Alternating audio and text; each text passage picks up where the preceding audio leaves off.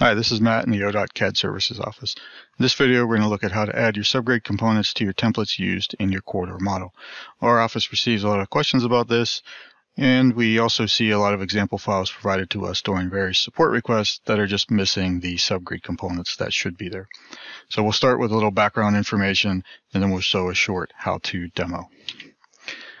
Section 1310.2 of L&D Volume 3 for the cross-section format has always stated that surface, base, and sub-base courses of the proposed pavement are not shown on our cross sections and our plans. This has not changed because of OpenRoads Designer.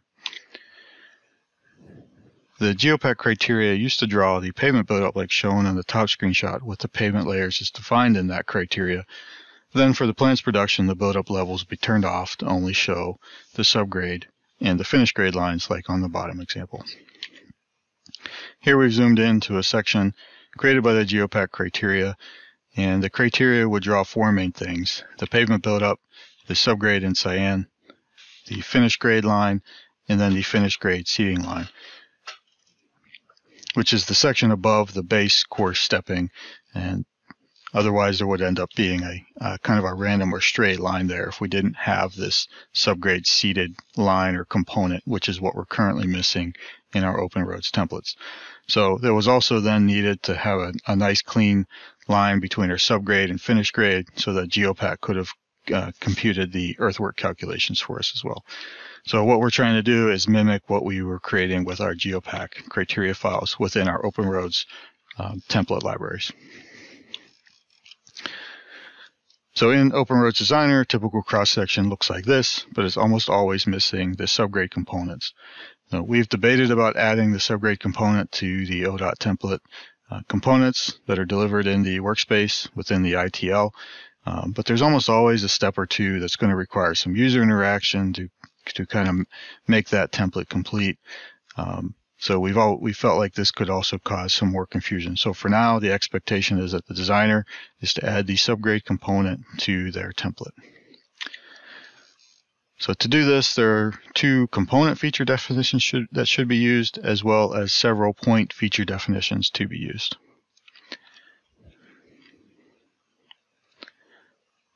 So let's take a look at a demo how we can add this to an existing template or a template that we're just creating.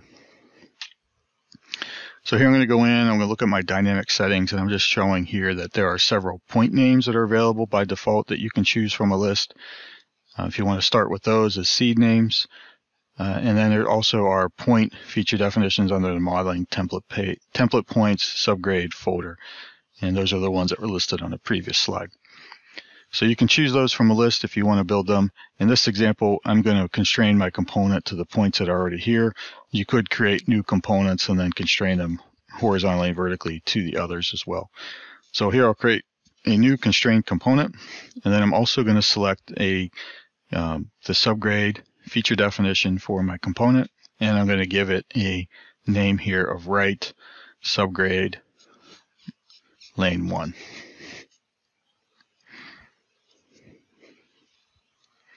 And I'm going to snap it to the edge of shoulder point for that subgrade, um, and then I'll finish that component. And I'm doing separate components for each lane or shoulder um, so that when these are turned off with different display rules that I might be using, they will also uh, mimic the same behavior as the subgrade or base layers. So then I created the one uh, component for my shoulder, and then I'm also going to create one here for the step the, the sub-base uh, stepping here. So I'll create for the bottom, and then I'm going to go vertically straight up here, and I'm just going to pick a point at random to finish that component. And now what I want to do is, is modify how this is constrained. And, or I'm first going to go ahead and modify the point name here. So I'm going to give it a sub, subgrade, graded shoulder point, I did forget to select the correct feature definition here, so I would want to head want to make sure to go ahead and do that as well. Uh, for now, I'm going to go ahead and close that dialog. Now what I'm going to do is um, to just clean things up for the example, turn off the point names there, and I'm going to insert a point in that graded shoulder component that's there and finish that. And now next what I'm going to do is just show the constraints that are here and you'll see that the graded shoulder hinge point is constrained horizontally and by a slope from the edge, outside edge of shoulder. And I'm going to now I'm going to go and delete that outside edge of shoulder point that's tied to the, the graded shoulder. All right, now I'm going to return back to my outside subgrade point and I want to constrain that horizontally to the bottom step here. Uh, I set it to zero in this example, but if you've ever done any modeling, you, you know that you really shouldn't have that vertical face there. You probably want to set it to 0.0001 or something like that. So just a little bit of an offset. I'm also going to set this now with a vector offset from the outside shoulder point to the graded shoulder hinge point. And you'll see that that point now moves in line the same slope as where that line's going to end up being. Now I'll move my graded shoulder point that I inserted here over to the top of the graded, um, the subgrade line, and then I merge those two points together, deleting it. So now I still have one constrained point. And lastly, I'll go in and I'll add a new component, and here I'm going to use this finished grade seated component. And I'll fix my name here.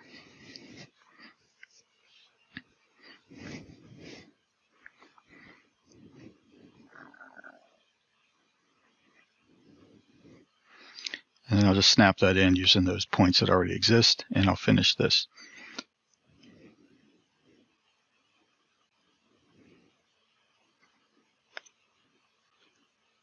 So next what I want to do is go ahead and test a couple of these points just to make sure that these are going to behave the way I want. So I'll test the, the rollover point on my shoulder to see that that's working the way I would want it to work.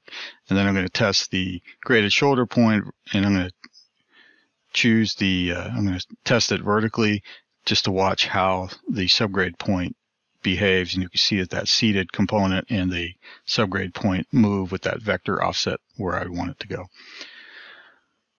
So now what I want to do is I also want to test the null points that are used for my display rules. And here I'm going to go and test this one horizontally for the intersection. You'll see that my shoulder and my subgrade or my um, grading are removed when I test that point. And, but my subgrade and my seated component that I added are, are no longer, are still there. So what I need to do now is make all of those components that I just added.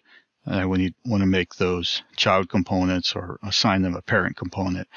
Um, and here I'm going to use for the seated line, I'm going to use that finished grade component. And then I'm also going to use that same parent component for that outside step um, subgrade component. And then for the shoulder subgrade line, I'm going to go ahead and select the parent component as the surface course of the shoulder and hit apply.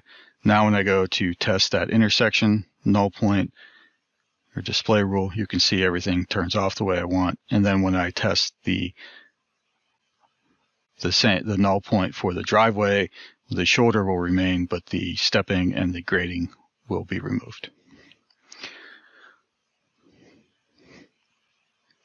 So that's it. Once you've done that, you can push that through your corridor or sync up your template in your corridor and you should end up with a an example that looks like this where you'll see on the mainline road here, you'll see that cyan is the subgrade components and I've turned off the levels uh, for all the pavement stepping. And this would be my um, 3D design model or container model in my plans production for my cross section sheets.